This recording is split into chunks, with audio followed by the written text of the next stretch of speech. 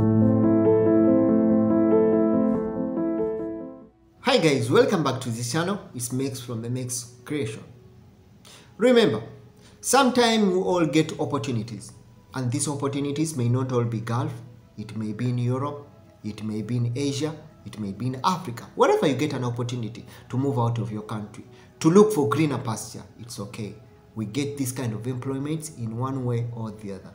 But what happens sometimes, we are being put by, but we are misguided, or some of us fell victims of uh, exploitation of our employer. Why? Because of what you call the contracts.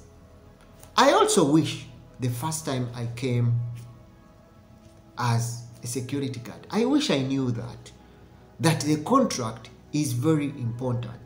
What, what is agreed upon in the contract is very important.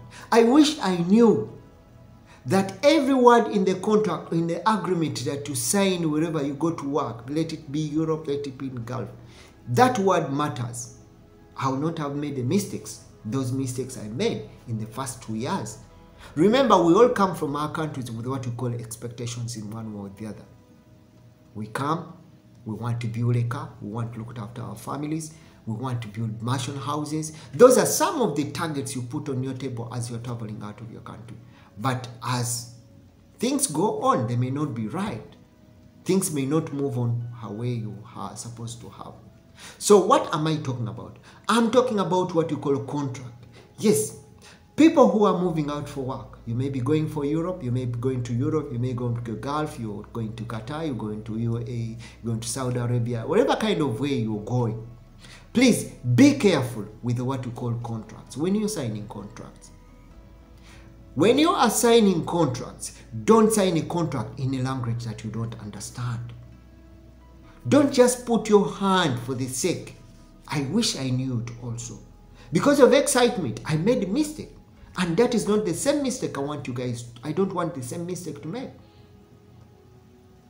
I signed a contract, but I didn't know contrarily that my, my visa, my, my visa, under there was a clause of my visa, which takes for five years. So it was a little bit very hard hassle to change to move to a new job. So what do I say? That whenever you sign a contract for any job work, for, uh, for any employment, please read that contract thoroughly. Understand every single clause of that contract before you sign. It's very important. You either sell or you put yourself in the deep or you elevate yourself with the contract. The agreement you sign with your employer. Read that word, read every single word in the contract, thoroughly understand such that you cannot have a regret or you do not have regrets in one way or the other. Most of our people, most of our friends have got into trouble because of the contract.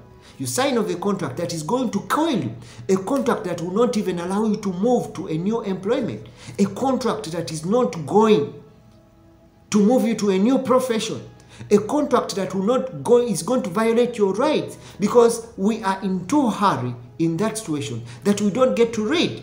We are just excited by the figure of the money. At the end of it all, after a given period of time, you are going to begin regretting and say, I wish I knew. I wish I knew. I wish I knew this. If all wishes were horses, then what will be happening? So, this is the knowledge we are sharing as you're signing any work contract, especially if you sign the contracts away from, from this company, let's say from, from our countries of origin. Make sure that same contract you sign thoroughly, you read and understand. It's the same contract when you come to this country. It is the same contract that you sign. Otherwise, you have the right to reject that contract.